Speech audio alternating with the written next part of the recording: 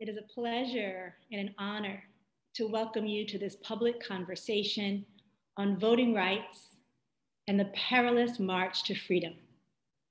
I invite you to settle in and get ready for a lively discussion designed to probe our deepest truths and highest values.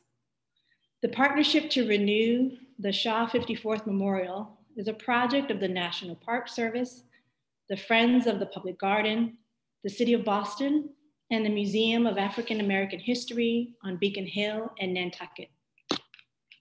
This partnership is dedicated to providing the restoration work necessary to ensure the monument's longevity for generations to come. This partnership also represents an important effort to recognize not only Robert Gould Shaw and the members of the 54th Regiment, but also the bigger and longer fight for self determination and self emancipation for Black Americans. The fathers, sons, husbands, nephews, cousins, and brothers who made up the 54th Massachusetts Infantry were bold dreamers, strategists, and movement makers. Their decision to enter the Civil War's front line was about demanding more from a country that was determined to give them less. This group of way-making men marched to war for a country that still had not recognized them as citizens, as fully human, or as worthy of the right to vote. But they persisted. And in so doing, they joined a long list of Massachusetts freedom fighters, including Prince Hall, the founder of Free Black Masonry in the United States, and Elizabeth Freeman, affectionately known as Mum Bet, an enslaved Black woman who refused to live in a state that professed freedom but did not recognize hers. As many of you know, in 1781, Miss Freeman sued the state of Massachusetts for her freedom and won. Her case would pave the way for the state's abolition of slavery in 1783. So while St. Gaudens Memorial was new when it was unveiled to the world in 1897, Black Americans' fight for freedom in this country was by this time entering its third century. And while St. Gaudens' bronze sculpture is widely celebrated for showing the fortitude, individuality, and collective commitment of the 54th. His sculpture is also praiseworthy for its ability to capture the freedom of movement and dignity of these men. They are not posing, stopped, or waiting. They are moving and inviting us to join them in pushing, pushing, pushing beyond limits beyond racial segregation, beyond narrow patriotisms, beyond token and cliched notions of manhood, and beyond the possessive logics of white supremacy. You can almost see them walking steadily, slowly, but steadily to confront unknown dangers at Fort Wagner, yet buoyed by the movement of their own legs and feet to carry them freely. Frances Ellen Harper Watkins, renowned writer, feminist, and good troublemaker, captured these bad brothers in her own words. She called them bearers of a high commission to break each brother's chain. With hearts aglow for freedom, they bore the toil and pain. So tonight, please hold these bearers of a high commission in your heart and recommit to the unfinished racial reckoning that these brothers died for.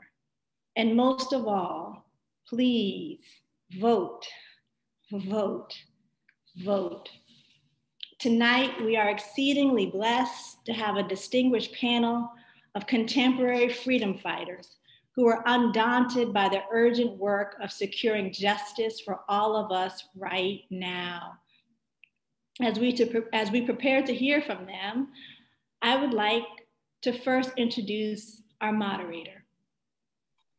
Karen Holmes Ward is the Director of Public Affairs and Community Services and the host and executive producer of Cityline, WCVB TV's award winning magazine program, which features the accomplishments, concerns, and issues facing people of color in Boston and its suburbs every Sunday at noon on Channel 5. Thank you, Karen, for your leadership and commitment to public service that makes a difference. You have been an, an essential partner and steward of these dialogues since 2019. You're also a personal hero and inspiration for me. Uh, it's great to welcome you back to the mic tonight. Now over to you, Karen. Welcome. Thank you. Thank you, Karilyn. Thank you. It's good to be uh, on this platform with you this evening. Good evening, everyone, and I'm honored to serve as your moderator as we continue this series of community conversations to renew the Shaw 54th Memorial and the dialogue on race. The story of Colonel Robert Gould Shaw and the mighty 54th Massachusetts Glory Regiment is familiar to many from the Hollywood dramatization for which Denzel Washington won an Academy Award. The much deeper true story of the regiment and the bronze tribute to them on Boston Common, sculpted by Augustus St. Gaudens, continues to evolve and exemplify the complexities of American history, especially as it pertains to who we call our heroes and how we commemorate their legacy. The Shaw 54th Memorial has served as a beacon of hope and a rallying point for conversations about race, justice, and human rights. The men understood that while serving a country that did not accept them as equal, their service was critical to gaining the right to vote, the best hope of securing equality for all. While they joined the Union Army and went south to fight, George Ruffin, the first African American judge in the United States, began organizing Black men in Massachusetts and beyond to be ready to vote when the time came. The Shaw 54th is the first civic monument to pay homage to the heroism of Black soldiers and is considered the nation's greatest piece of public art. At the time of our August dialogue, the memorial had just been removed from Boston Common for restoration, and a lot has happened since then. Today, the work is underway on the bronze panel at the Conservators Studio in Woburn and on the marble and granite at the Stone Conservators in Lenox. Meanwhile, reconstruction of the memorial's foundation and reinforcement of the plaza continues on the Common. While the memorial is off-site, make sure you check out the exhibit installed along the construction fencing on the Common that explores the story of the Civil War, the 54th Regiment, the creation of the memorial, and the partnership to renew it. For regular updates about the renewal project and upcoming programs, visit shaw54thmemorialrestoration.org. Now, before we meet our panelists, please understand your role as our audience members. First, we ask that you take a moment to share on social media now and during the program. Invite friends to join us for tonight's interactive dialogue on Facebook at Friends of the Public Garden. And you can look for it in the chat Second, we invite you to add your voice to the conversation. On Facebook, post questions and reactions as comments. In Zoom, post a question or comment in the chat. Now, to find the chat button, scroll over the bottom of the screen and click on the chat icon. If you're on a phone or a tablet, you'll want to tap on your screen, click the three dots in a row, and select chat. And reminder, we're recording tonight's session.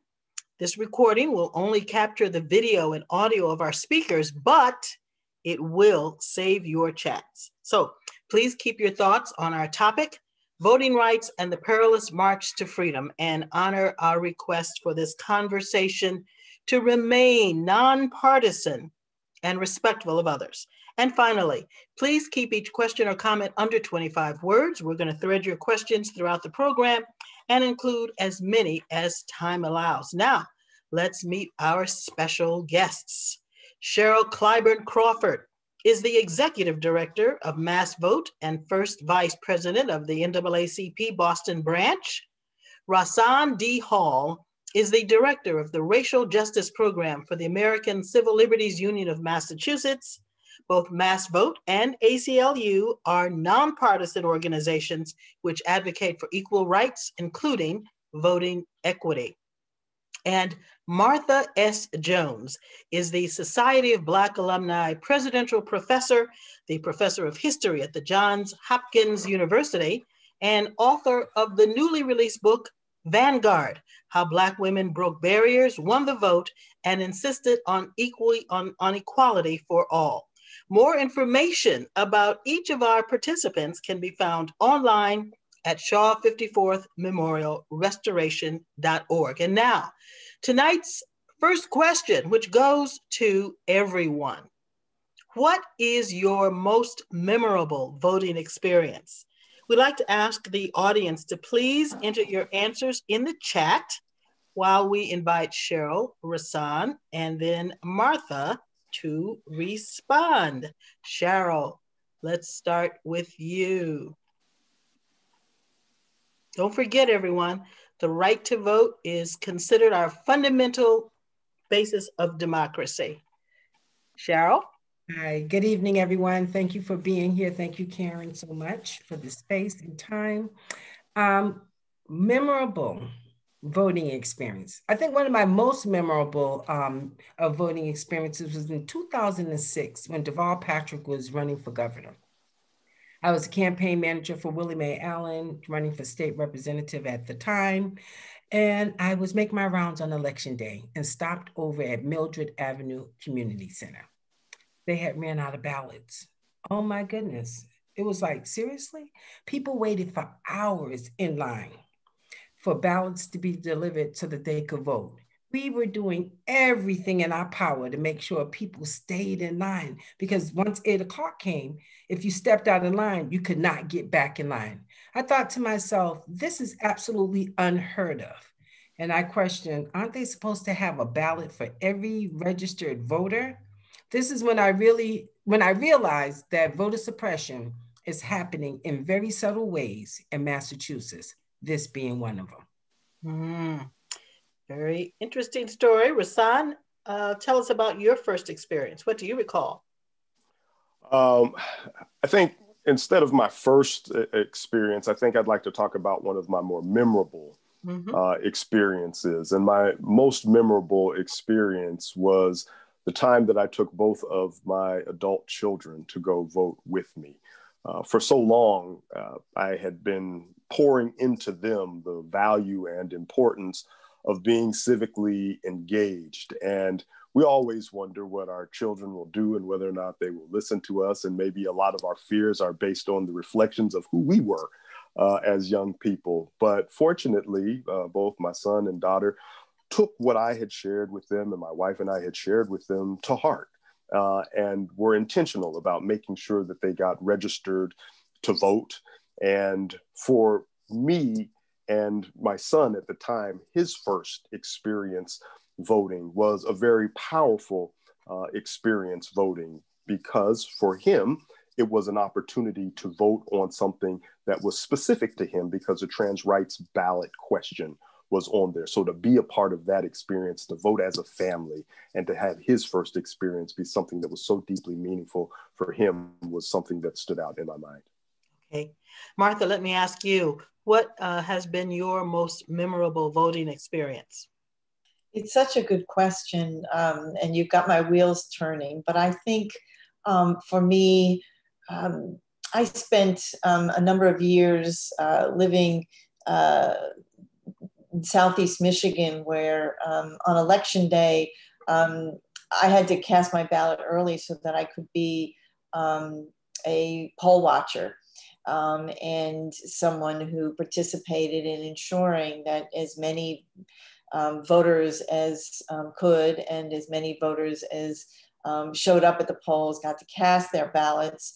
And there was a year, I think it was likely 2004, um, where I, maybe not unlike Cheryl, I, I, I had my first close up encounter with voter suppression um, with folks who came to the polls um, with the clear intention of slowing things down, of um, mucking up the works and discouraging folks from um, waiting in those lines and having their turn um, to make their own choices.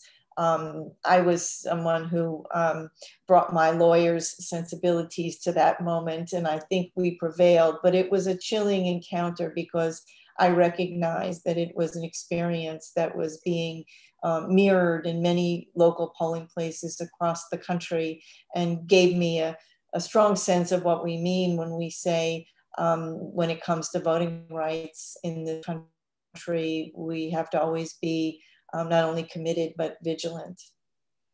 Um, we have some comments in the chat. Meryl says the first time she voted absentee in college just after um, the voting age was lowered to 18 was her most memorable experience. Liza says her first vote, 1980, Carter, Reagan, Anderson, deep discussions about the impact of independent candidates and something specific to Massachusetts. I saw Carl Cruz comment earlier that the first time he voted was when he had a chance to vote for Senator Edward Brooke for US Senate uh, of course, very historic here in uh, Massachusetts. As I said earlier, the right to vote is considered fundamental to our democracy, our system of representative government, yet from the nation's establishment, the right to vote, to have a voice in governance, has not been accorded equally to all. When Shaw and the 54th marched out of Boston on May 28, 1863, they were marching off to fight for a country that did not recognize them as full or legitimate members of society. Martha, uh, I'd like to ask you, I wonder if you might talk with us about race and civil rights in the decades leading up to and including the Civil War and share some of the factors that paved the way for passage of the 14th and 15th Amendments. Yeah, thank you for that. Um, and of course, these are men um, whom we remember precisely because um, they um, act um, with extraordinary courage and at uh, almost unspeakable risk um, at a critical moment in that story. Um, but it is a story that I think in some ways begins, for example, as we heard from Karilyn Crockett, um, with figures like Elizabeth Freeman, um, Black Americans who um, hear, who read, who encounter the ideals of the new nation, uh, the new constitutions, um, and through their own life challenges and circumstances, including the blight of slavery, are prepared to uh, test, um, to breathe life into, um, and to insist on a critical reading and rereading of some of the most foundational principles, um, such as that, that all men, and we will say parenthetically women, um, are created equal. Um, my story um, picks up um, and becomes pointed by the 1820s when um, Black American communities, now free communities, are growing um, in the North, but also in the um, border cities um, in the American South, in the port cities of the American South. Um, here, now former slaves um, free people um, are asking new questions about who they are with respect to the law, with respect to the Constitution, with respect to the nation itself. Um, are they citizens? Do they have political rights? And what we discover as we follow um, the many scenes and the um, varied debates that unfold over the course of um, the many decades before this moment in May of 1863 is that Black Americans um, live with a sort of um, specter of uncertainty, of doubt, of question. Um, they live under the blight of Black laws um, that uh, mark them as distinct um, in local courthouses, um, at the polls, and more. They live with serious um, uh, debates over whether or not they are citizens of the United States at all. Um, and yet, um, they are folks unlike Elizabeth Freeman in the 1780s who are prepared um, not only to challenge um, discrimination and marginalization, but are prepared to offer up a new theory of citizenship um, into which Black Americans will step forcefully in the 1860s.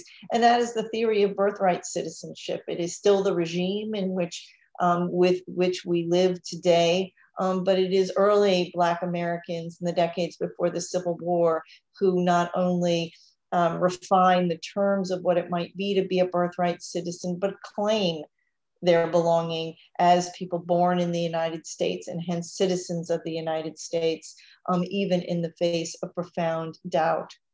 What's so important about this scene in May 1863 and those that surround it, of course, is that a revolution is being wrought. And it is a revolution that will, yes, um, ultimately, by the terms of the 13th Amendment, end slavery in the United States. Um, but it is importantly a revolution that will affirm the claim that Black Americans had long been leveling against their individual states and against the nation. That claim to birthright citizenship will become enshrined in the 14th Amendment when it is uh, added to the Constitution in 1868, now taking a principle long held up by Black Americans and making it a principle that works for all Americans. Um, yes, in the critical years after the Civil War, but those of us today still benefiting from that regime that Black Americans play. There's no that put in place. There's no question, um, but that um, the men um, and the women who support them in the years of the Civil War um, lay a foundation for that bold claim um, by way of their valor, by way of their service to the nation, and then by way of political rhetoric um, in the wake of the war um, that expressly proposes a trade um, between military valor and service and the claim to citizenship.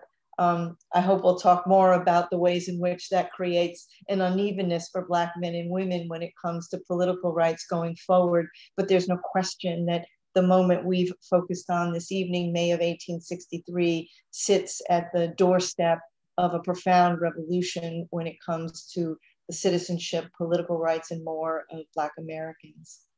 I'm going to ask Rahsaan and Cheryl to talk with us about ways in which milestone uh, amendments since, since that time and uh, subsequent civil and voting rights laws uh, have played into the nation's civil rights landscape today. Rahsaan? Uh, sure, thank you. Um, I, I, think you know. I, I, think about the the significance of these amendments and how they transformed the landscape uh, of our country in generally positive ways um, birthright citizenship, of course, the abolishing of slavery, uh, the right to vote. These are all significant cornerstones of how we understand society to be and granting significant rights for formerly enslaved people. But one of the things that I think uh, has been problematic is with the 13th Amendment. To the extent that it uh, abolished slavery, there still remained a provision that allowed uh, for slavery for those who were duly uh, convicted of a crime. And that serves as the basis uh, for the criminalization of Black people uh, as a form of social control that has continued to exist throughout this country, this uninterrupted thread uh, from slavery to the Reconstruction, then post Reconstruction era up through um, uh, Jim Crow, uh, the war on poverty, the war on drugs, and now mass incarceration. And when you think about voting rights and in the states that have felony disenfranchisement, uh, the impact of the 13th Amendment um, it, it stands out. And so the we have always uh, had to fight and with every significant move forward. Uh, with the swing of the pendulum, it has swung back. Reconstruction, post-Reconstruction era, uh, the Obama presidency and the post-Obama uh, presidency era, and so we are in one of those moments of the pendulum swinging back, and we should continue to look to some of these landmark moments uh, to not only inform us of what lay ahead of us, uh, but also to inspire us. Uh, of how we need to continue to fight. Cheryl, do you have any reflections you'd like to share on, say, the Civil Rights Act of 1964, Voting Rights Act of 1965 in uh, context and, and as part of this discussion? You on mute, my doll. Yep. Bound to happen once. Sorry. Um, I think about the 14th and 15th Amendment as it was not fought by, you know, Abraham Lincoln or the politicians of that day. They were fought by the abolitionists like William Lloyd Garrison, Frederick Douglass, and Sojourner Truth, right?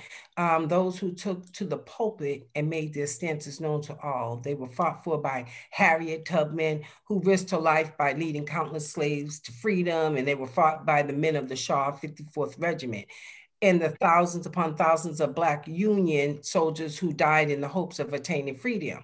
Freedom. The 14th and 15th Amendment proved critical not only for what they achieved, but for what they proved. They proved that activism works.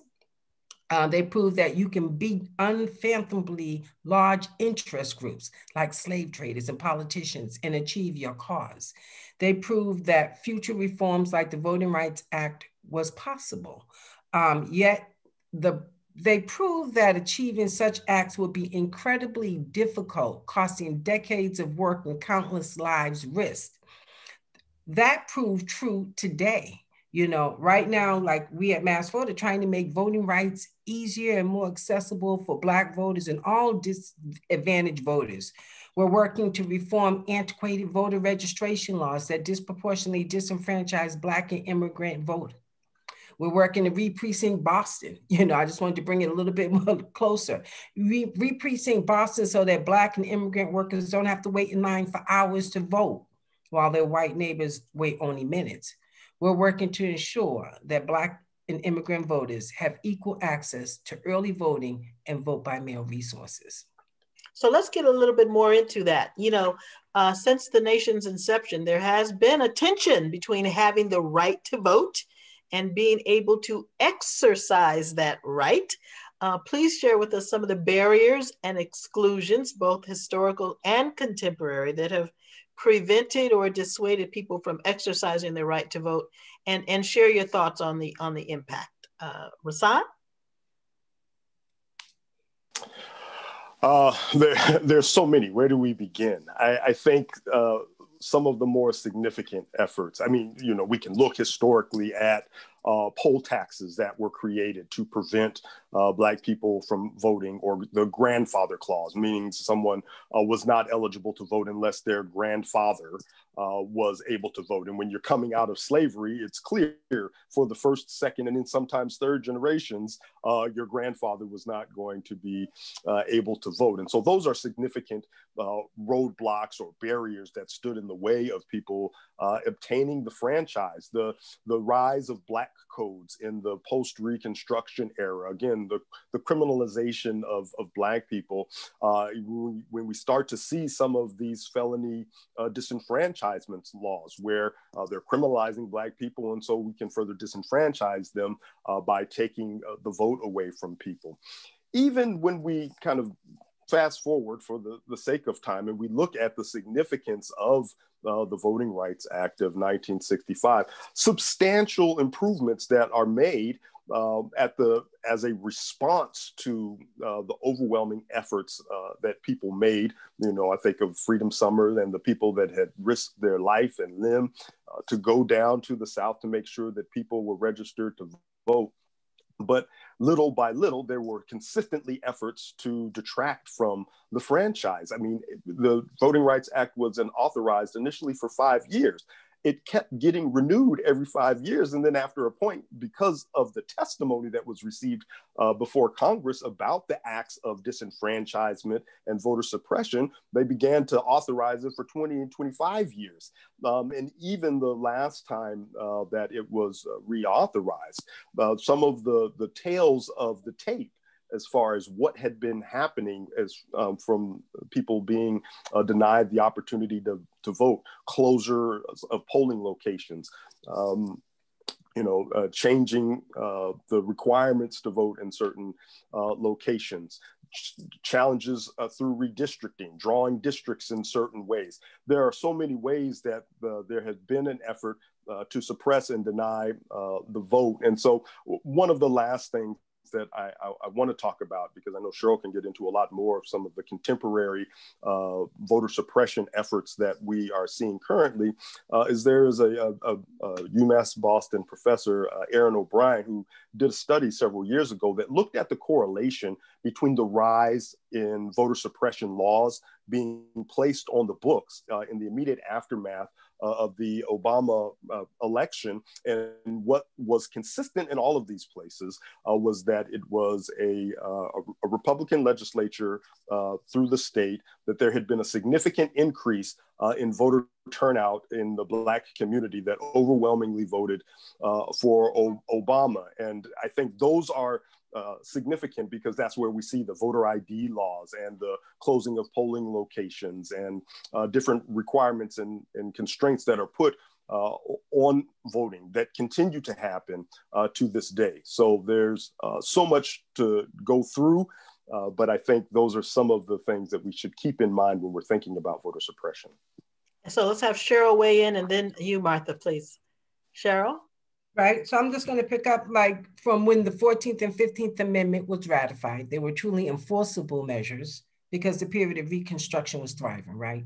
And until 1877, um, Black men voted in unprecedented fashion. But unfortunately, the compromise of 1877 brought an end to this emancipation. Almost immediately, state legislators across the South implemented measures that made it virtually impossible for Black men and soon after women to vote. And for nearly 100 years, Southern states used the law to suppress the Black vote. Poll taxes, literacy tests, and the grandfather clause were some of the legal mechanisms employed. Outright intimidation was also used, with the KKK intimidating countless potential Black voters through fear mongering and brute force. But then the Voting Rights Act of 1965 outlawed many of these mechanisms and made new ones more difficult to implement.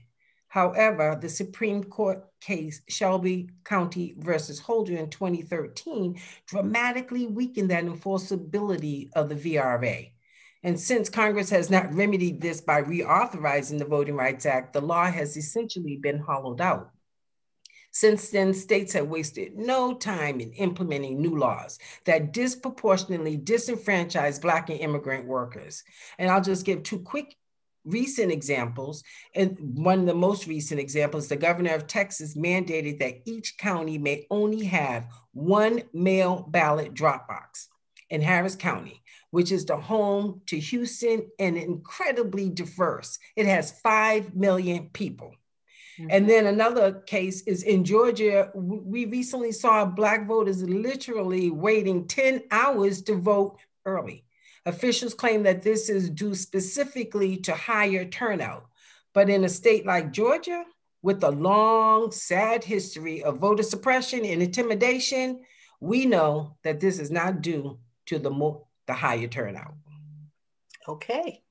Martha, that tension between uh, having the right to vote and being able to exercise the right to vote?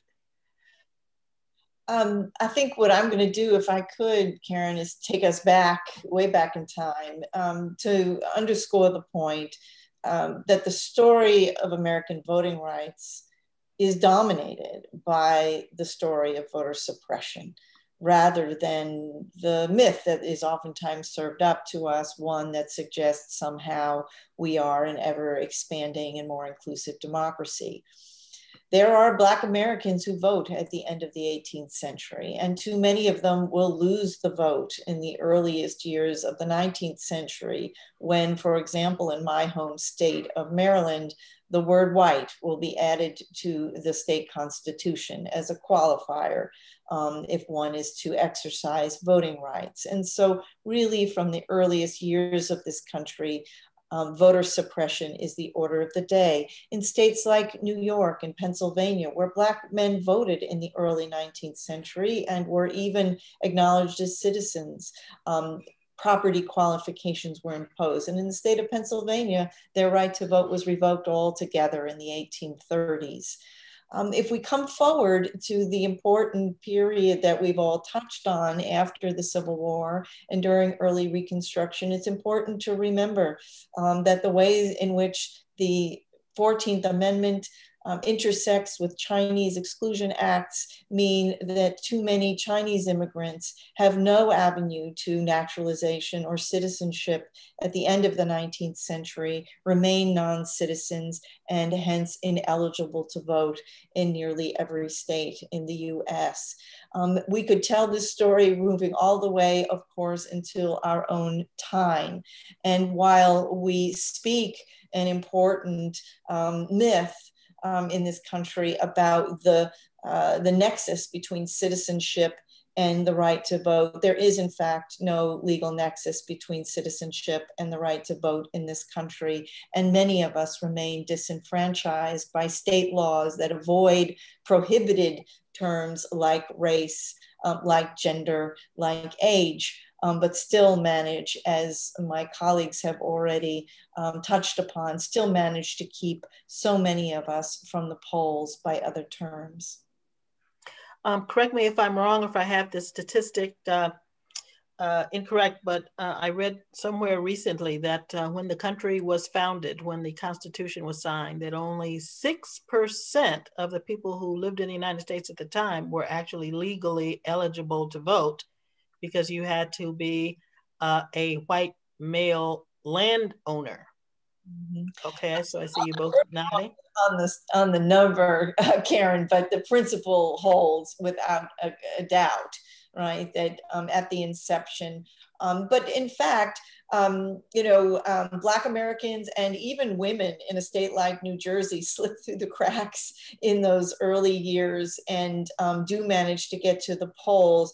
Um, it will take time for state lawmakers to, um, if you will, plug those loopholes and keep both women and Black Americans um, from the polls altogether. Hmm. We have a, a comment from the chat. Tyson wonders, how can we in more progressive states like Massachusetts aid and assist states where voter suppression is heavy, like Georgia? Cheryl Clyburn Crawford uh, referenced uh, Georgia in her comments. Um, Cheryl? Well, you know, um, you can do especially now that everything's virtual, right, due to COVID, you can absolutely join in phone banks from around the country um, and supporting them in helping to turn out the vote or just helping. Up until recently, we were talking to people about um, making sure that they were registered to vote. Tomorrow's the last day to register to vote here in Massachusetts, but, you know, and, and different states have different times, but just, you know, making sure that you support these efforts, resources. They could always use resources, right? And they could use people to help make phone calls. Okay, so continuing on that theme, from the vantage point of, of all of the work that the three of you do, what, what are or have been some um, creative or particularly effective strategies and efforts to increase voter registration and turnout um, particularly among populations where voter turnout was previously denied or, or historically low? Um, I can jump in um, and offer up um, uh, an example um, from uh, my work on Vanguard, where um, Black women uh, who um, some might have thought would have won the vote, if you will, with ratification of the 19th Amendment are under no illusions um, but that the Jim Crow strictures, the violence and intimidation that have kept their husbands and fathers from the polls um, are now going to keep Black women from the polls.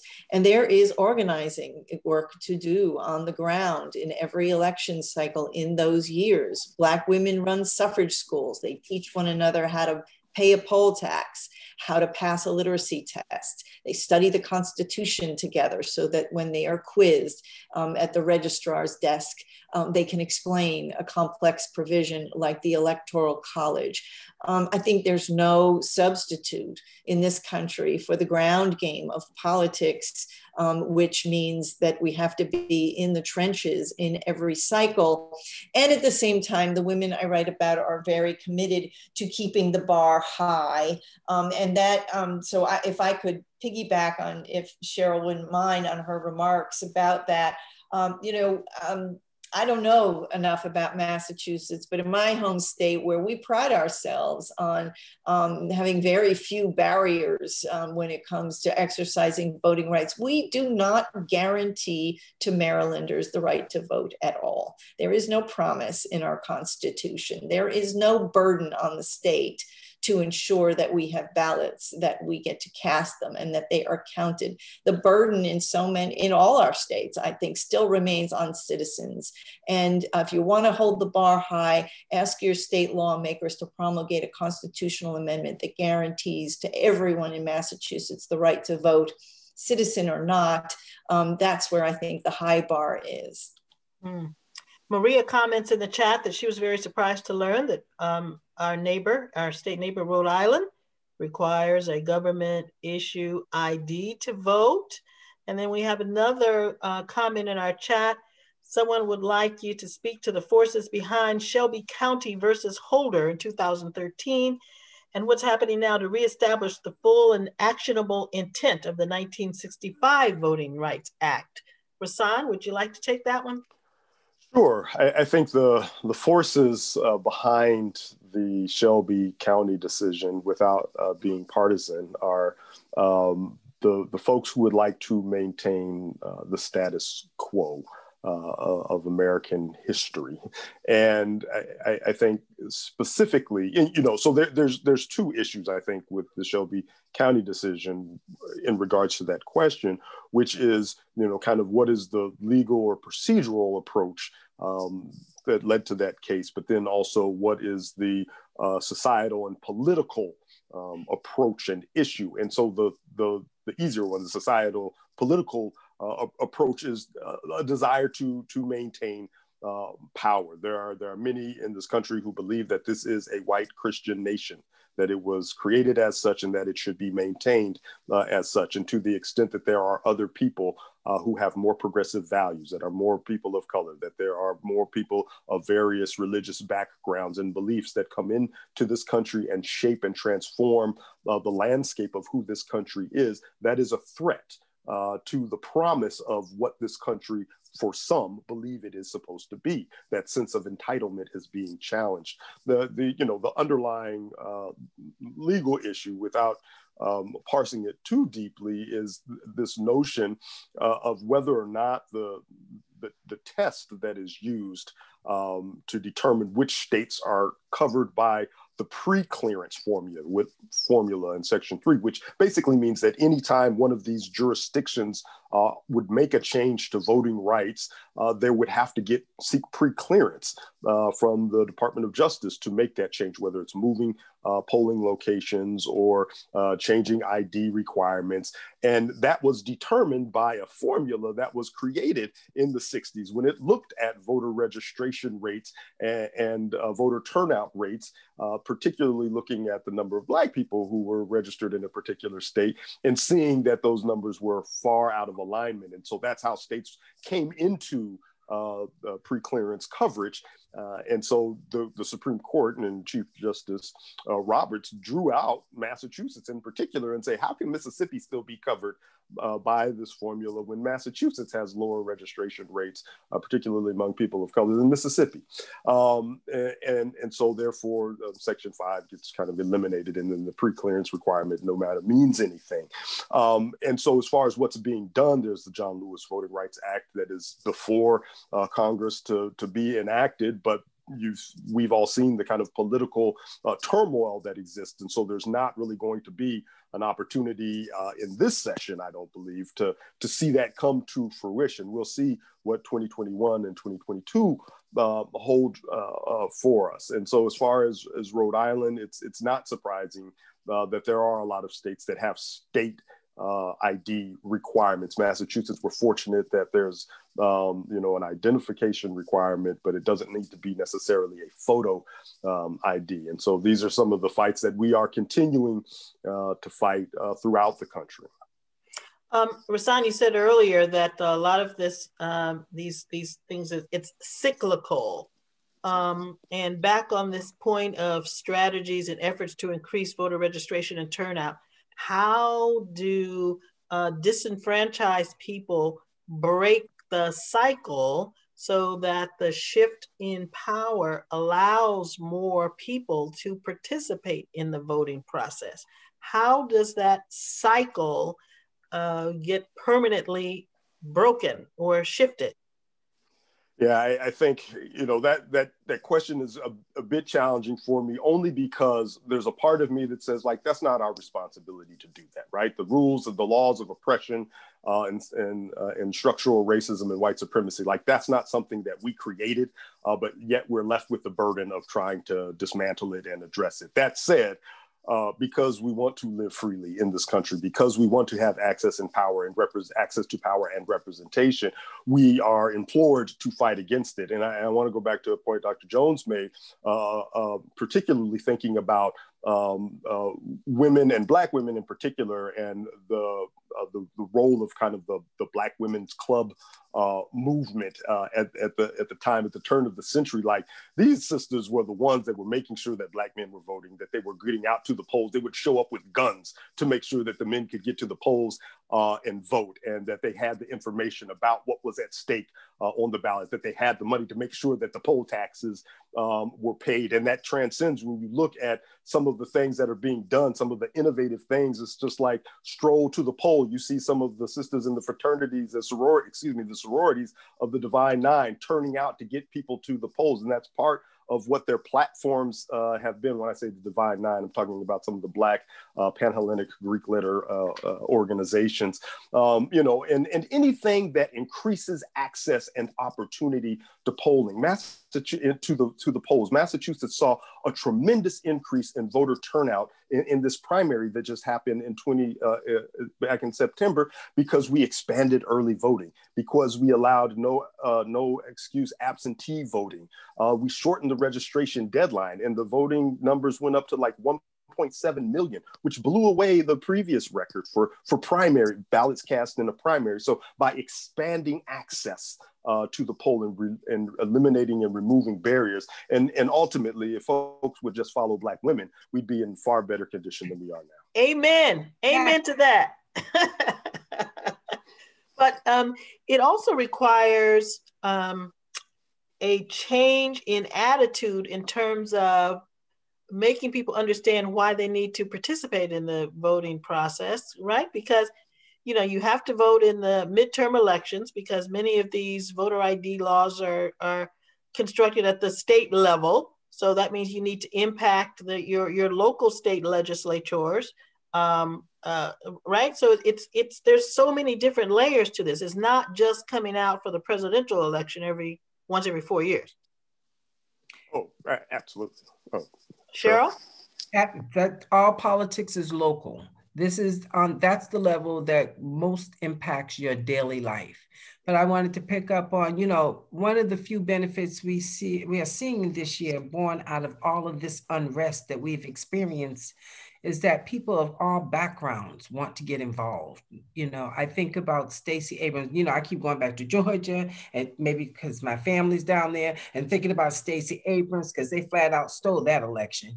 Um, but her fair fight, encourages voter participation in elections and educate voters about elections and their voting rights. You know, uh, Fair Fight brings awareness to the public on election reform, advocates for election reforms at all levels, and engages other voter education programs and communications. I'm, I'm really um, geeked about that program because she really, she did not get out of the fight.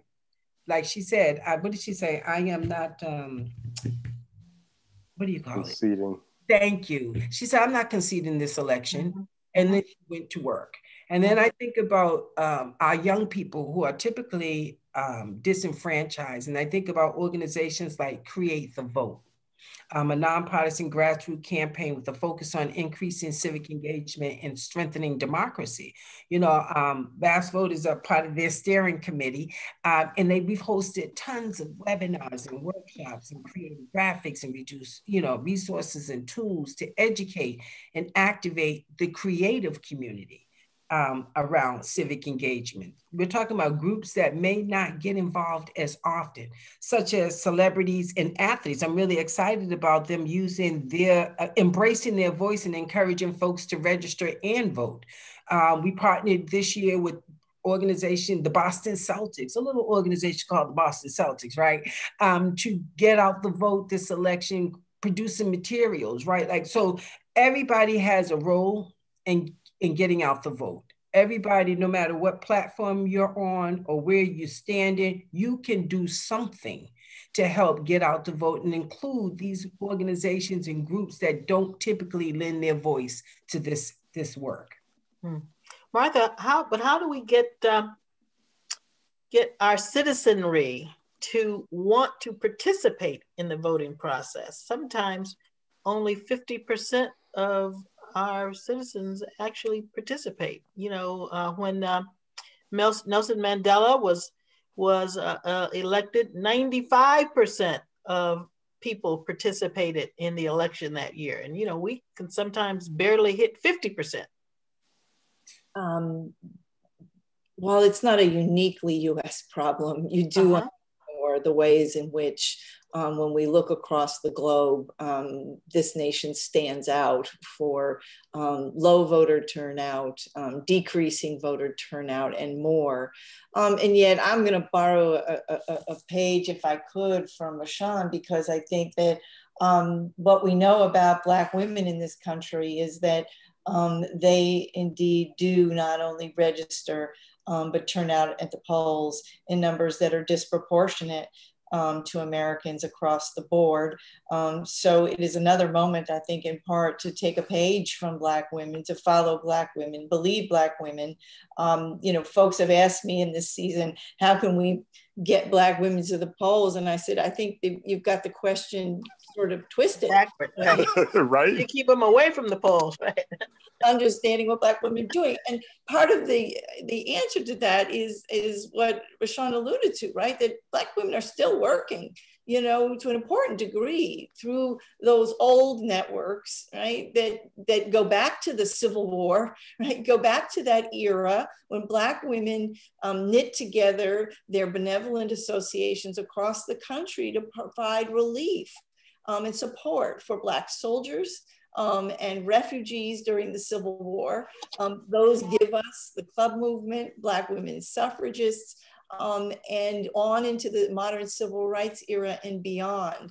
Um, and so um, it is, I think, I couldn't agree more with Cheryl about the ways in which um, all politics is local. And at the same time, what Black women have learned to do is to knit together right? That um, intensity, that commitment, that relevance that is local, um, and um, turn it into a, a national um, force. And this is part of what I see. When I see 120 plus Black women running for Congress in 2020, a record shattering number of Black women. I say we're onto something um, and watch, right, the way in which those candidates can help ignite an electorate. You know, that's what Shirley Chisholm did in 1972. Shirley Chisholm um, didn't, I don't think, believe she was going to be the Democratic nominee for president in 1972. But what she knew was that her candidacy would ignite millions of Black Americans who had only been recently enfranchised um, by way of the 1965 Voting Rights Act. And so I think we have to attend to those dynamics and, and learn and promote, frankly, our history, our political culture, and more um, as a model, um, something to build on, um, rather than to think in this country we have to start from scratch. Cheryl? Have any other thoughts on that? I, I don't think I really have a lot more to add to that. Thank you. Okay.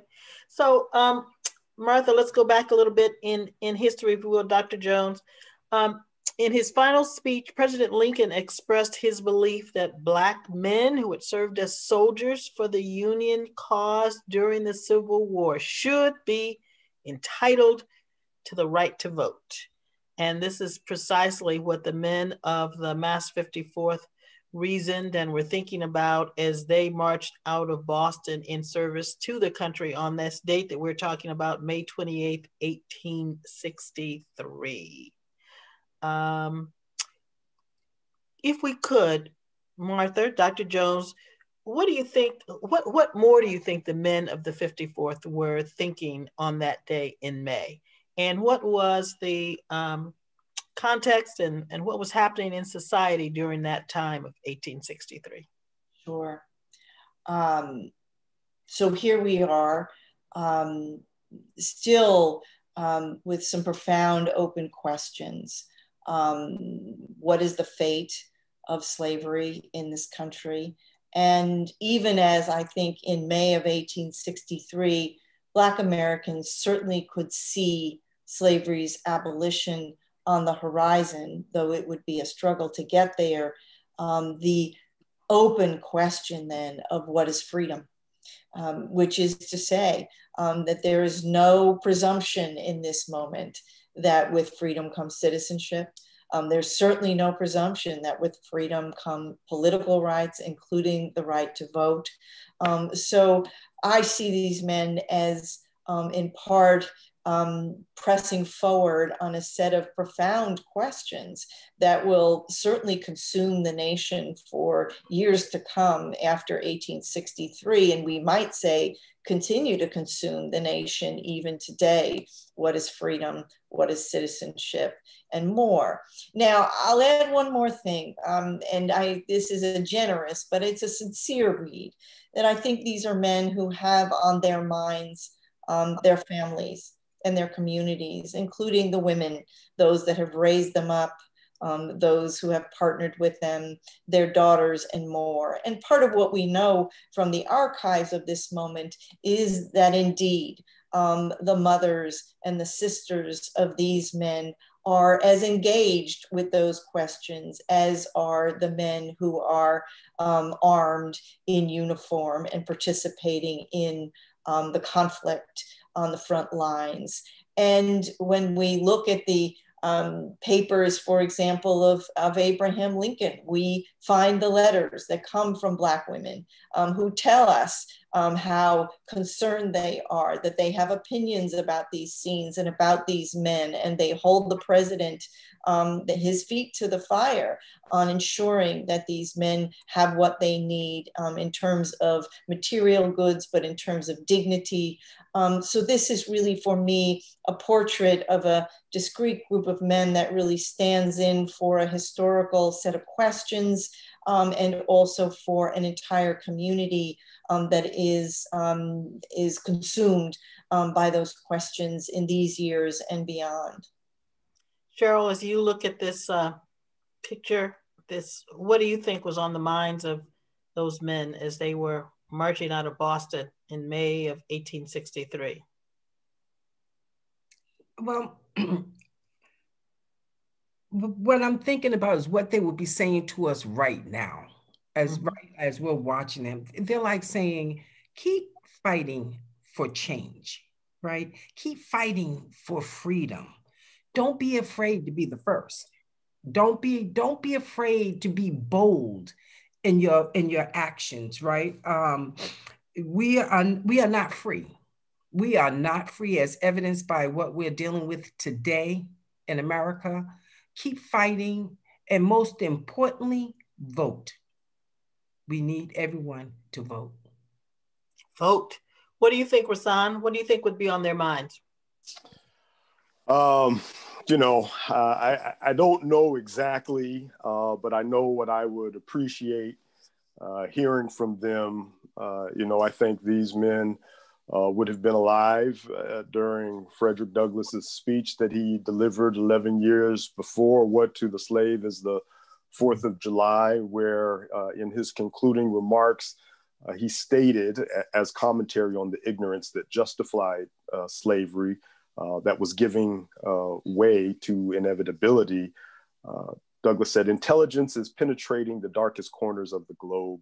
It makes its pathway over and under the sea, as well as on the earth. Wind, stream, and lightning are its chartered agents. And I would appreciate uh, hearing these men say, or knowing that they were thinking, uh, that we depart to offer our lives in battle for the moral conscience of the nation. Our, our blood will nurture the soil that future generations will reap bountiful harvests from but it will not be without labor, toil, and sacrifice. The cultivation of a heightened social enlightenment will not come to fruition on its own, but rather through a dogged determination to be the wind, stream, and lightning. And so, among the fruit of their sacrifices are the entitlements to the bounty and of rights that this nation uh, provides. And so, I live into that, and I believe that that's what could be uh, said was on their minds. Carl in the chat reminds us that Sergeant Carney said, quote, I could best serve my God by serving my country and my oppressed brothers. The sequel is short, I enlisted for war. Hmm, very powerful, very powerful quote. I want to pick up something else uh, that was earlier in the chat, and, and Cheryl said this, you know, um, she would, uh, she wonders what they would be talking to us about today. Uh, Jerry um, thanks the group today for addressing the proposed John Lewis, John Lewis Voting Rights Act. And she has wondered perhaps if um, all the corporations and sports franchises who are not promoting voting will turn their attention uh, after the election to help pass this important legislation. I guess the point kind of is use uh, some uh, armies that have not yet been activated for the cause. Um, maybe look to other corners for support. Uh, Cheryl? Absolutely. Um, we have a, there are a lot of people that are not involved in civic engagement. And yes, and they have big platforms which they could use. So we are encouraging and, and starting to increase participation. You know, since George Floyd's death and everybody wants to be involved in being on the right side of being black, right? Racial equity and equality. And now is the time for us to just really tap into those resources and mm-hmm. talk them about getting involved. How do they use their platform? Um, many of them artists, I, I, touched upon it earlier, artists and athletes and uh, actors and actresses, right? They have huge platforms. They absolutely could change and could reach other markets that we have not reached yet. So, yes, we're encouraging that. I had a chance um, in New York uh, maybe four years ago to visit an exhibit at the New York Historical Society. Um, and it was about the role that the Supreme Court played in um, uh, voter suppression. Um, and at the end of that exhibit, it was beautifully laid out. Um, I was in tears because I see that this is something that could happen again today um, the exhibit at the New York Historical Society was, was showing how the Supreme Court, which is supposed to be the law of the land, um, was not in accordance with what I would think my rights as an African American should be uh, in terms of giving me the right to vote as a full citizen of this country. That the Supreme Court was was siding with those essentially that wanted to disenfranchise me and those that looked like me. And that's a very, for me, a very scary proposition that that could occur again. I say with a question mark at the end of my sentence. Rahsaan? I, yeah, I, I, don't. I don't have a question mark. I, I, I see that as a declarative statement when I look at the composition uh, of the current Supreme Court and the nomination that will likely be uh, voted and confirmed, you know, these are lifetime appointments. And so we're looking at a generation's worth of undoing some of the progressive uh, decisions that came out of uh, the court over the last several uh, decades. But I mean, we we can't look to the courts to save us. It is the role of civil society organizations and people in the streets uh, to demand better, to um, push uh, for better representation. And that's why uh, voting is so important. I mean, Plessy versus Ferguson, uh, which determines separate but equal is the law of the land, is a Supreme Court uh, decision. And so, you know, I'm reminded of Audre Lorde, who said, you know, the master's tools will never enable us to dismantle the master's house.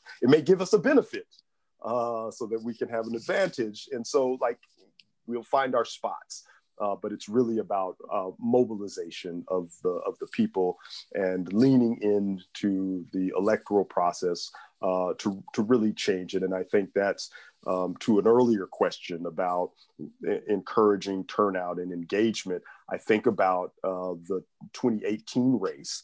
Uh, that we had and here in Boston, and we saw unprecedented numbers of people turning out to the polls. And when you think about who was on the ballot, where we had Ayanna Pressley, uh, who was on the ballot. We had Rachael Rollins, uh, who was on the ballot, and we had Liz uh, Miranda and Nika Elugardo, and you know, and all of these black women. And so, if if people believe that there is someone that uh, uh, is inspiring to them, that will actually speak to uh, their issues, they will be engaged. And so, yes, it is important to vote and take these civic responsibilities importantly, but we also have to have representation that encourages and inspires people to come out. Martha, do you have any uh, historical perspective you want to add on this on this point? You know, um, it's a tough question, but uh, the way I would illuminate in part where we are is by taking us back to um, the language of the 15th Amendment, the language of the uh, 19th Amendment, for example, both of which put breaks on what states may not do, right? May not use race, um, may not use sex as a criteria when it comes to casting a ballot, but there's no guarantee um, of the vote in those amendments at all.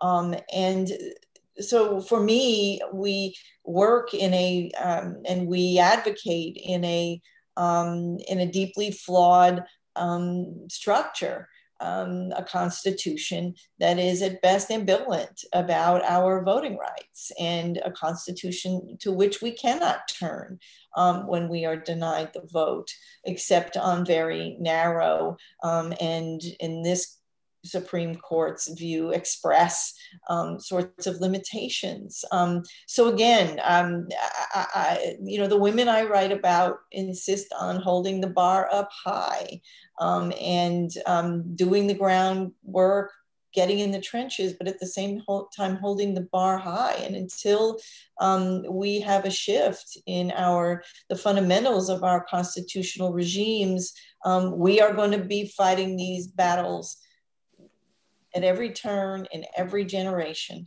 Um, because whether it is Black Americans or it is Chinese immigrants or it is Muslim Americans, go down the list, there will be those folks in this country who are the despised um, and for whom um, this Constitution will not work. Um, and so I'm one, um, as I guess I've already tipped my hand, who thinks that um, part of the work, or at least part of the aspiration for the work, is um, for the first time in this country, um, setting in place a constitutional regime that guarantees to citizens the right to vote. Um, and that, to me, would be a baseline for the possibility that we might rethink this um, always present, always resurgent fact of voter suppression um, in our history. A um, couple of comments in the chat. Emma wonders, are there monuments or memorials to the 14th Amendment, African American suffrage? She says she can't think of any. Um, though she can think of some that commemorate the 19th Amendment women's suffrage, which often didn't include Black women in practice. Mm-hmm. Dr. Jones, nodding.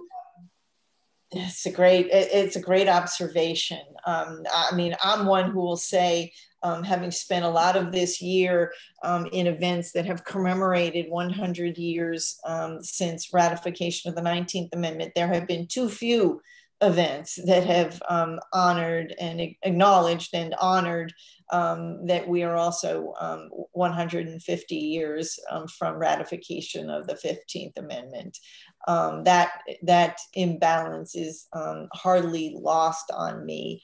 Um, and at the same time, you know, the monuments to suffragists that have um, been uh, installed and unveiled in this anniversary year of the 19th Amendment have undergone um, a good and important level of scrutiny um, as they have um, gone through various public review processes.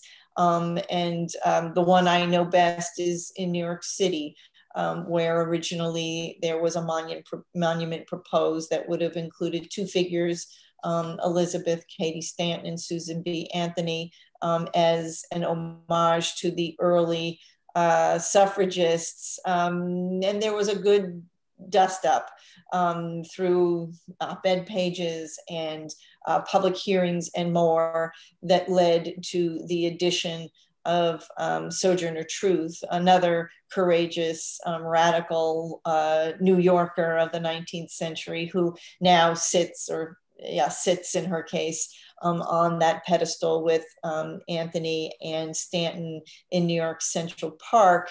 Um, people ask me whether I think that's enough. That's probably a conversation for another day. It might not be, um, but it's to say that the in this uh, anniversary year, um, those who have proposed monuments to women and to women's votes have found themselves, um, I think, importantly challenged by a great deal that we've learned through the debates around Confederate monuments, right? That monuments are political, um, that they contain meanings and significance, both um, obvious and um, and unseen spoken um, and that they have a long life. And so they need to be thought through not only for what they stand for in the year in which they are unveiled, but what they stand for um, for many, many, many years to come. Um, that's a high bar, I'll say, and I'm very glad to be a historian who writes books and articles and doesn't design monuments at all, because I think that's a that's a really tall order. Um, but these are important questions because once again, we are creating a legacy right, for our daughters and our granddaughters. And it better be one that speaks to all of them and not only some of them. I believe that Sojourner Truth should have her due. Um, I have seen some pushback to the monument that you are referencing because the suggestion was that she would not have been seated across from Cady Stanton, that it's uh, historically inaccurate and that people who see that monument today might not understand uh, the real history that the women's suffrage movement did not accept um, or acknowledge women like Sojourner Truth. You are you are you are spot on, and and this is why you're not in the monument making either. If I put it that way, Karen uh, because these are these are very difficult choices. But if we look across the country, there's some really interesting um, examples. You know, the state of Tennessee is um, unveiled this year its third monument to women suffragists. And each time they do it, um, they get it better, if I could say that for, for, for, the, to the folks of Tennessee. They become more diverse, more inclusive, uh, more reflective of the fullness of the history. Um, but it is a it is a tough thing to do. You know, in the Capitol Rotunda, Mary McLeod Bethune, the great suffragist, educator, and um, politician, is going to replace a Confederate. Uh, officer who had long represented the state of Florida in that space. Um, so there is, I think, a, a, great deal to be lauded about some of these changes, um, but they are um, they suffer from the the limitations of the genre, and this is again why I write books and I don't design mine. I understand completely. Haroon uh, from the uh, comment section says, uh, these these men, excuse me, were inspired and motivated with courage by the at first to oh, oh, oh, at first to defy and die for freedom and equal rights in America by a black man just like them. His name was Crispus Attucks, a Revolutionary War patriot. Mm-hmm. Megan Woods comments: Why have black women's efforts been overshadowed? Uh, white supremacy. uh, like, I think that's just kind of the the nature of this country is to deny and uh, and erasure. Um, you know, I, I, think white dominant culture is such that it looks to um, uh, lionize its idols and heroes and um, not consider, you know, like, okay, fine. if we if we don't want to attribute malice to people in positions of uh, of, of power, those who are you know uh, writing history, um, then we can say take the path of least resistance and say that there are biases that people have. Uh, I'm not inclined to not to uh, to not attribute malice. Um, you know, there's a, a, a, proverb, and I'm going to butcher it, but it's essentially uh, until the the um, you know as long yeah, I'm, yeah I'm butchering it now, but in, until the story of the hunt is told by the lion, the the hunter will always be the victor, mm-hmm. or something like that. So. Mm-hmm. Um, you know, my apologies to those who know the proverb. Well, we get we get the drift. Uh, another comment in the in the um, chat refers back to something that you said earlier, uh, Dr. Jones. Richard says the lack of guarantee in the Constitution is tenuous and keeps the door open for white supremacy to be reinforced. It opens the door to voter suppression, right? It, it precisely the kind of voter suppression um, that the, the folks um, that I'm sharing, uh, we're sharing this conversation with are, are on the front lines of combating, right? That um, there is, there is, um, there are prohibitions in the Constitution and otherwise the door is wide open. The Voting Rights Act did some of that work for us, but post 2013, um, it is very difficult as I'm understanding it, right, to um, to challenge these kinds of strictures, and there is not an, a direct or um, easy resort to the Constitution. Maybe there should be. Kelly asks, are there any examples of Black and white women being allies in this work? Open allies, openly public allies. I'll jump in and say, sure, historically um, um, important alliances, um, for example, in the 1830s in the anti slavery movement, um, in the years after 1920, um, in the movement for interracial cooperation. Um, uh, Ida Wells, the great journalist, anti lynching uh, advocate, and suffragist um, works importantly with white suffragists in the city of Chicago and the state of Illinois um, in the earliest years of women's votes there. Um, we do have examples of that. My, my um, sort of broad, but I think useful analysis to say is hardest to do that on a national scale. Um, it, historically, that um, we have important examples of women's alliances across the color line um, in politics and church and, and more um, uh, locally and even on the state level. But it has been a hard part of our history to recognize that in national contests like the campaign for women's voting rights and women's suffrage in the early 20th century, um, that was a movement that did not resist the temptation ultimately to trade in white supremacy, to trade in racism, to accommodate it in order to get to goal. Black women were expendable, white women won a 19th Amendment. Um, that is, um, that is a, a history that still, I think, plagues us on the national level in politics even today. Carl reminds us that there is a monument to Sojourner Truth in Florence, Mass, near Smith College. I'm going to go back to uh, a comment in the chat. Nathan says the right to vote is certainly important, but with redlining still occurring, unfortunately, not all votes are treated equally. He is curious about the thoughts of the panel on the electoral uh, college and how that plays into racial equality of voting. Our esteemed panel, Rahsaan. Um, you, you, know, I, I think um, certainly there are significant problems with uh, the way that the electoral uh, college came into being, um, the apportioning of um, uh, votes. I think there are significant issues with um, redistricting and how uh, districts are, are drawn and efforts at um, uh, diminishing uh, voter power uh, are is something that was certainly and continues to be exacerbated um, uh, by the history of, of redlining. I think you know we see uh, redlining now through some of the mortgage foreclosure crisis and the subprime um, loans that were deployed to certain um, uh, communities. Um, but the, the, the broader conversation around the kind of elimination of the electoral college uh, is one that has captured a lot of attention.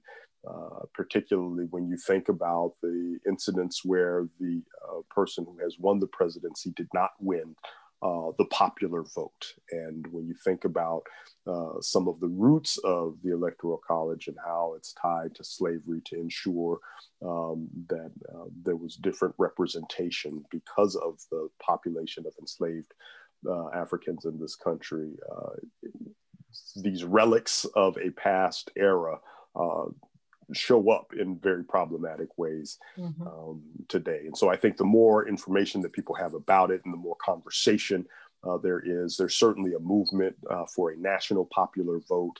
Uh, different states are enacting um, uh, state level legislation to say that if there ever becomes a national popular vote, we as a state agree to participate. So uh, I think Massachusetts has moved in that direction and uh, hopefully it, it picks up steam.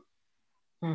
And I, I, just want to say, you know, we keep dancing around this thing, this thing called the Constitution, something that we know that was truly not written for us, right? White men with property, and at that time we were the property. Um, and then we talk about young people and engaging young people, and they keep talking about we need to dismantle this system, right? Of course, I think that that's a conversation. We think about new tools and ways that we can vote and be more inclusive. You know, um, we know people participate in elections at a higher rate when there's competitive elections. So, what are we really doing to increase competitive elections, right? Like there's things like what's on our ballot here in Massachusetts this year, ranked choice voting. Um, which offers up another system, another way for us to be more inclusive and to diversify the pool I know here in Cambridge, Massachusetts, they've been voting that way um, um, for 20 years plus, and it, Cambridge City Council is the most diverse, one of the most diverse in the country. And so we mm. keep looking at these different systems, which I think is a conversation that we need to have on November 4th. Don't get it twisted, not right now.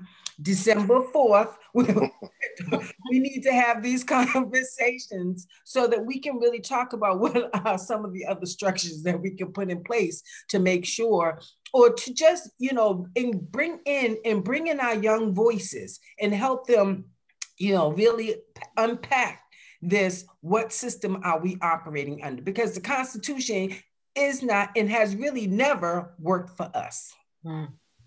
okay all right, another comment.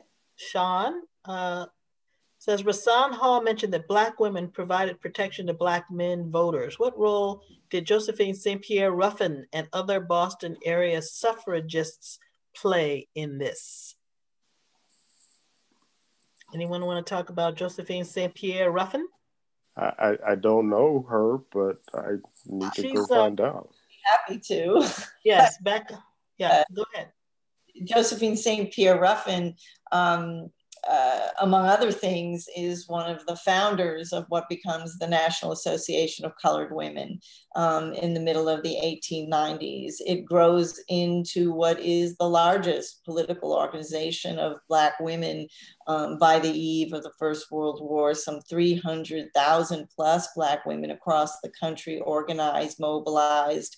Um, it is the heart of Black women's um, suffrage um, advocacy. Um, it is the organization that leads Black women um, out of the disappointments of the 19th Amendment and into a new movement for voting rights. Um, oftentimes credited she is with being the wife of a judge, um, but as far back as 1863, she is an organizer um, out of Boston, raising money collecting goods and providing relief and support for the young men of the Massachusetts 54th, um, but also um, formerly enslaved refugees um, and much more. Um, so she is um, absolutely essential to this conversation, and I'm so glad someone uh, called on us to remember her. She's, I'm uh, so glad too. at the at the heart of a uh, very uh, fervent community of Black people on Beacon Hill during that time frame, and I believe that there are lots of artifacts uh, from Miss uh, Josephine St. Pierre Ruffin housed at the Boston Athenaeum for those that want to do some more research on uh, her and her life and what she meant to the uh, abolition movement. I'm going to ask uh, each of you to give us one closing thought. Um, if monuments could talk, what do you think the figures in this monument would say to us today about the role that each of us plays in advancing the ideals of the perilous march to freedom? Rahsaan, let's begin with you.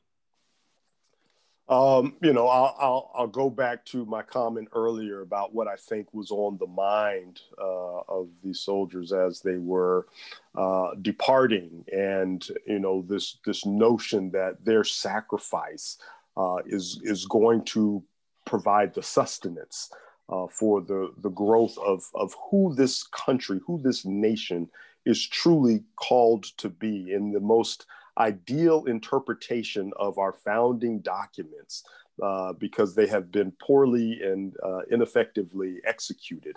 Um, so, but with that in mind, it is the, the, the legacy of, of their sacrifice, the sacrifice of their mothers and wives and sisters and aunts and children and family that they are connected to through the generations uh, that have been the foundation of the, the kind of the, the moral consciousness uh, of this country. And so, given that, uh, it is the the duty because of our ancestors, um, whether direct blood tie ancestors or cultural ancestors, uh, that we must continue uh, to struggle, to labor, and toil uh, to push this nation to be uh, who it is prophesied to be, who it is uh, idealized to be. And, and I think when we continue to do that, when we continue to fight, and when we continue uh, to, to struggle, that we will begin to see the fruits of that labor, if even not for our generation, for um, the, the next generation and the generations to come. Cheryl, your thoughts? What do you think the figures in this monument are saying to us all today about the perilous march to freedom and how we need to step up and help advance that march? Absolutely. Activism. We must continue to be active. Um, we must be we must continue to be participants in this democracy. We must not be afraid to be participants in this democracy. And my message is simple vote. Voting can is one tactic in a much larger strategy. And if we vote, we can make change. We have seen changes made with voting. We must continue until we can figure out this system that we're functioning in. We must continue to vote and bring people in that represent our issues and our values. Vote. It's simple. Vote. Martha Jones, Dr. Jones, what role does each of us have to play in advancing the ideals of the perilous march to freedom? I'm going to share with you a question that was posed to be my, my friend, Dr. Noelle Trent at the National Civil Rights Museum. It was a simple one, but it was profound. Um, what sort of ancestor will you be? Which is a reminder to us that we are here, yes, um, for ourselves and for our own time, um, but we will be um, judged by our daughters and our granddaughters who will ask us, where were you in 2020 that fall? What did you do um, in the fall of 2020 in the face of such a consequential uh, political contest? Um, and I am one um, who would like to be remembered, perhaps hardly as courageous, as valiant, um, as the men of the Massachusetts 54th, but I'd like to think that my granddaughter will look back and um, take um, lesson and take inspiration um, from the work that I did here in this critical moment. Um, and I hope we all take that long view uh, of, of where our choices in this critical moment um, will be judged uh, down the road. So much to talk about in this conversation. I, I wish we had more time. Um, we have to wrap things up. We cannot thank you enough, Cheryl Clyburn Crawford, Rahsaan Hall, Martha Jones, for engaging us in this very amazing conversation. And we want to thank the audience too for participating in tonight's community conversation. Uh, the comments, the questions that you shared, and I'm sorry we couldn't get to them all. There were so many in the chat, but those comments and questions will uh, help the partnership to renew the Shaw 54th Shape Future programs. Uh, we've only just begun to scratch the surface on framing these community conversations and this dialogue on race. So stay tuned for more details as our community conversations will continue in the new year. Now, for more information about the Partnership to Renew the Shaw 54th, past and future programs, updates on the status of the restoration project, and target date of the memorial's return to Beacon Hill, please visit Shaw 54th Memorial Restoration.org. That's Shaw 54th Memorial Restoration.org. The web address is listed in the chat and posted on the Friends of the Public Garden Facebook page. You'll also find there a wonderful array of archival television, radio, and print media coverage, as well as historical information related to the memorial. Uh, before we close, let me share some good news. Everyone in the Shaw 54th Zoom room has been entered in a drawing for a swag bag with goodies from all of the partners to renew the Shaw 54th.